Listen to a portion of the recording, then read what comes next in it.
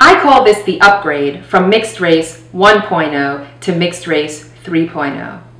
Mixed Race 1.0 is realizing that multiracial identities have been with us since the dawn of time here in the West.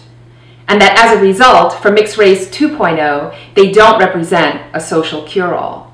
But for Mixed Race 3.0, where we are now, a full color rather than a black and white conversation about race, we need to think about the fact that multiracials reveal that all racial identities are fictions that we've chosen to take as natural facts.